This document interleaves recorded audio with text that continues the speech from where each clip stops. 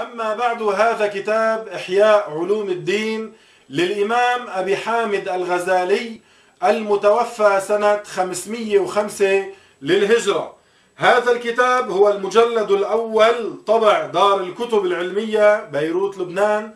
في الصحيفة 130 يقول تعالى عن أن يحويه مكان كما تقدس عن أن يحده زمان بل كان قبل أن خلق الزمان والمكان وهو الآن على ما عليه كان.